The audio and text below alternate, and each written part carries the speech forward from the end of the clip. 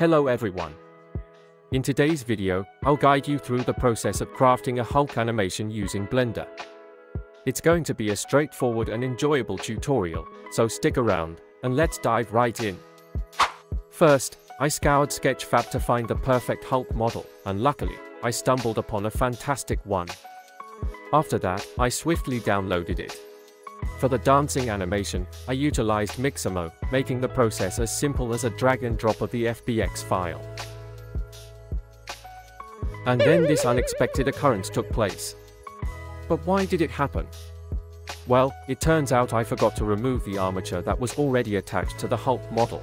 So I opened the FBX file of a Hulk model in Blender and turned off the armature, then saved it to in FBX format, and then I uploaded that file. Now it's fine. Then, I applied the chicken dance template and proceeded to download it. So, here's our animated Hulk.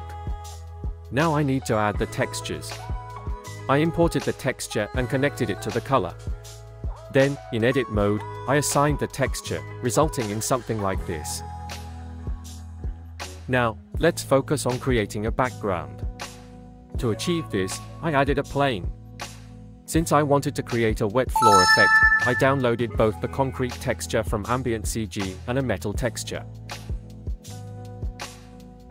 Next, I took the color texture from the concrete material and connected it to the color, as well as the roughness texture of the metal material to the roughness channel.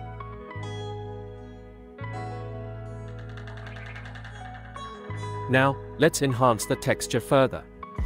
I'll add a bump node and connect the color to the height and normal to the normal input.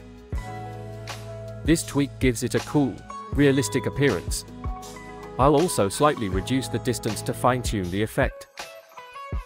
Now, for an added touch, I'll apply a color ramp to the roughness map and make some adjustments using the slider. This will enhance the overall look even further. I'll position the camera in the front. Then I will add a circular curve. By manipulating its geometry, I'll find the perfect placement that aligns with my vision.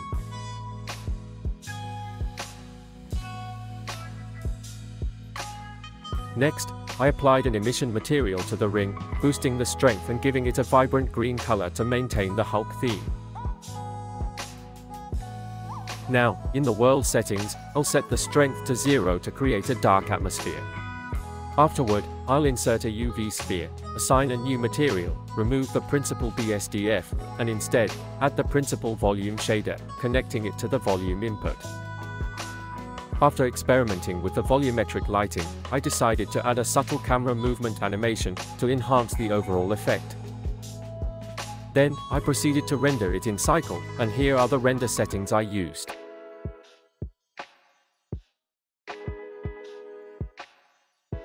Thank you all for sticking around until now. If you've enjoyed my efforts, please don't hesitate to show your support by liking and sharing this video. And, if you haven't already, make sure to subscribe to this channel. I'll be bringing you more Blender animations, 3D scenes, CGI, and VFX related content in the near future. So, until next time, see you in the next video.